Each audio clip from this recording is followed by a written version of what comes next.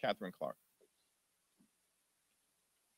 Thank you so much, Mr. Leader, and good afternoon. As a former caucus vice chair, I congratulate and welcome our incoming vice chair, Congressman Ted Lieu. We are just thrilled and have an incredible team in Chair Aguilar and in Vice Chair Lieu. And today, Democrats are celebrating on two fronts. This morning, we received welcome economic news from the November Consumer Price Index report.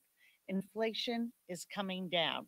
In fact, it has fallen for five straight months and is at its lowest level in nearly a year.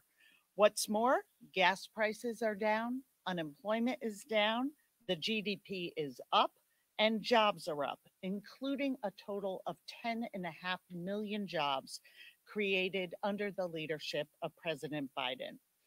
And this afternoon, President Biden will sign the Respect for Marriage Act, a major civil rights achievement in our march towards LGBTQ plus equality. These twin achievements are the pillars of the Democratic agenda building an economy that works for working families and building a future where every American has the same access to justice mm. and opportunity.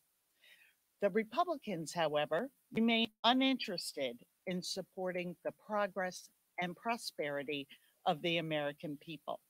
They voted against the American Rescue Plan and the Inflation Reduction Act, the laws that paved the way for our economic recovery and revitalization.